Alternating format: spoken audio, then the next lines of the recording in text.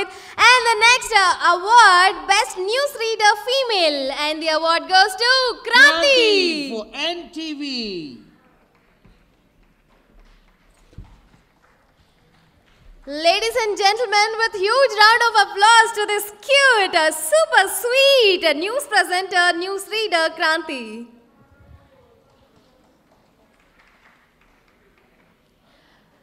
ఈ సందర్భంగా క్రాంతిని కూడా రెండు ముక్కలు మాట్లాడవలసిందిగా కోరుతున్నాం.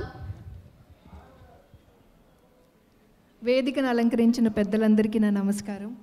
అలాగే ఈరోజు ఇంత మంచి ఈవినింగ్ గడుపుతుంటే మనందరినీ ఎంకరేజ్ చేయడానికి అవార్డ్స్ వచ్చిన వాళ్ళందరినీ క్లాప్స్తో అభినందించడానికి ఇక్కడ వచ్చిన అందరినీ హార్టీ వెల్కమ్ చెప్తున్నాను. And thank you so much for being here and చాలా సంతోషంగా ఉందండి.